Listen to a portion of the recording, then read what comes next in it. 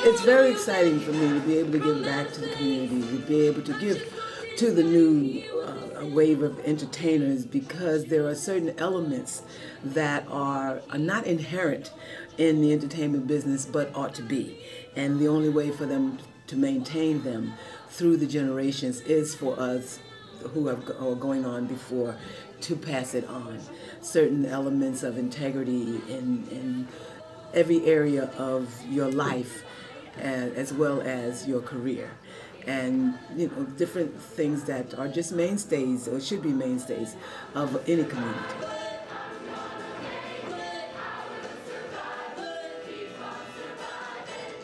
My goal here is to teach and, and to inspire, uh, and as I said, to impart some some wisdom, some knowledge, some understanding of what it takes to maintain a career in, in entertainment and also to maintain who you are as an individual.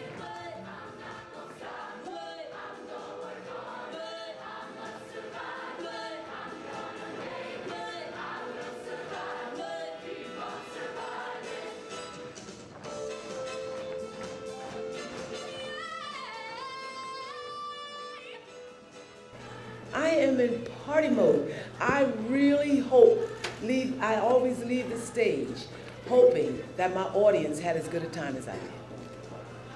Because you gotta have fun. If you have fun, that will transfer to your audience. Your character needs to be the same on stage as it is in your real life.